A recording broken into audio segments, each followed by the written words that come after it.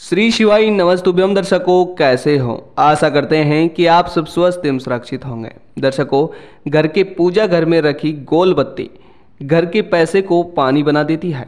दर्शकों, आज हम बात करने वाले हैं हमारे घर के दीपक में जो गोल बत्ती जलती है, उसके बारे में।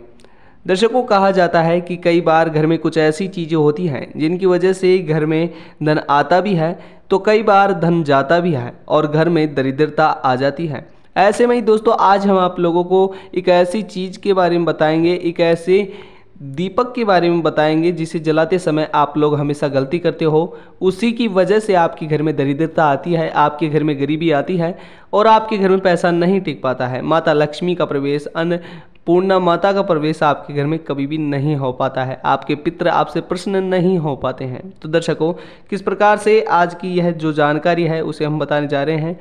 इससे पहले अभी तक चैनल को सब्सक्राइब नहीं किया तो जल्दी ही चैनल को सब्सक्राइब कर लीजिए, वीडियो को लाइक कर लीजिए, हर बार की तरह कमेंट में श्री शिवाय नमस्तुभ्यम अवश्य लिख लीजिए।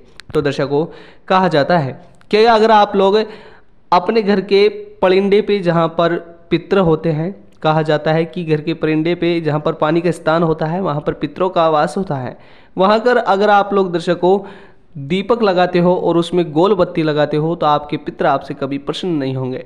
और साथ ही अगर आप लोग अपने घर में, रसोई घर में गोल बत्ती लगाते हो तो आपके घर में माता अन्नपूर्णा का वास नहीं होगा। साथ ही दर्शकों, अगर आप लोग अपने घर के पूजा स्थल पर गोल बत्ती लगाते हो तो उससे भी आपके घर में देवी देवताओं का आगमन नहीं होगा, माता लक्ष्मी का आगमन नहीं होगा। अन्यथा इस कार्य को अगर आप लोग करते हो तो आपके घर में इसका दुष्प्रभाव होगा, यानी कि उल्टा होगा। क्योंकि दर्शकों, कभी भी किसी भी जगह पर अपने पितरों को प्रश्न करने के लिए, माँ अन्नपूर्णा को प्रश्न करने के लिए या फिर पानी के स्थान पर या कहीं भी घर में गोल बत्ती को दीपक में नहीं जलाना चाहिए। इससे गरीबी आती है, पैसे को पानी बना देती है। तो दर्शकों, अगर आप लोग कभी भी दीपक में कोई भी बात जलाए तो आप लोग लंबी बात जलाए। और लंबी बात अगर लगा कर आप लोग अपने घर में पानी के स्थान पर रखते हो तो आपके पितर प्रश्न होंगे, साथ ही माता लक्ष्मी प्रश्न होगी, आपके घर में धन की आवागमन होगी, माता लक्ष्मी का आगमन होगा।